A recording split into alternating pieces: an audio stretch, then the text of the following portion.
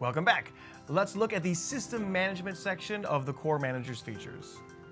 The first tab you'll see here is User Control Interfaces, or UCIs, which allows you to access and manage the security for every UCI deployed in your design.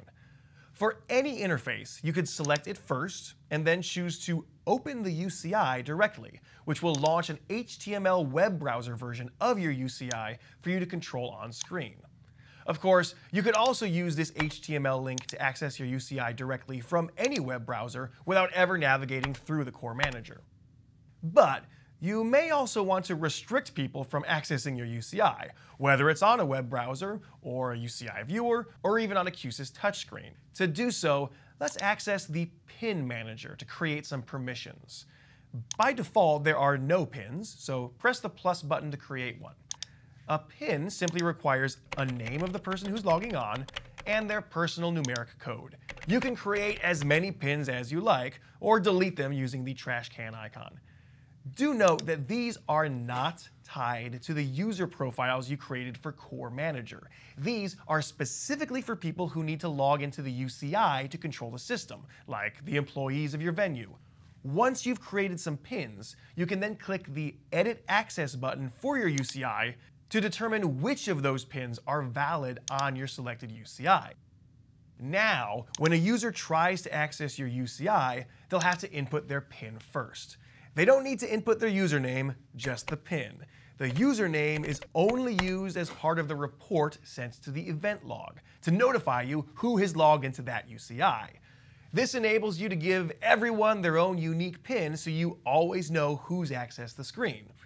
If you'd prefer to let multiple users use this same generic PIN, that's an option as well. If you don't want a particular UCI to require a PIN login, you can remove all pins from its access list.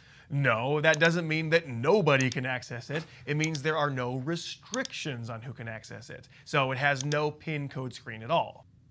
The next two tabs involve your conferencing system, soft phones, and contacts.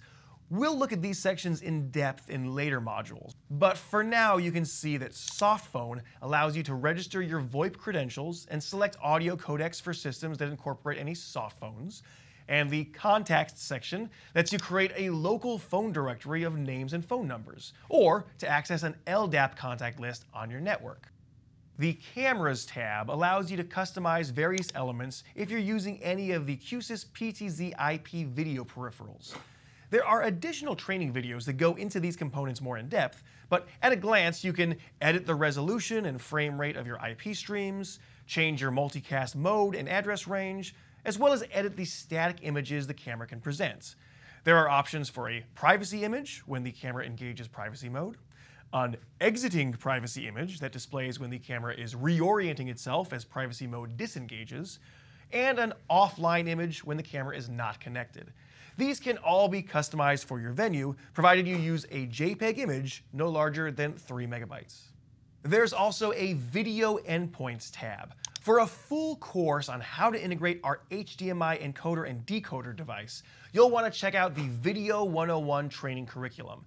But you can see here that this offers very similar functionality as the cameras, in which you can adjust its multicast mode, as well as upload your own graphics.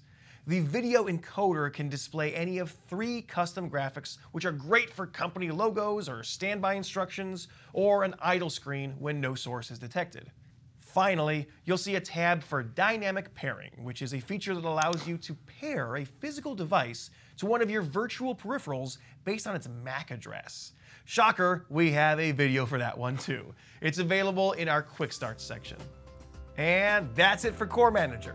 Next, we'll look at the third tool, which is called the Q-SYS Administrator. Take a quick break and continue whenever you're ready.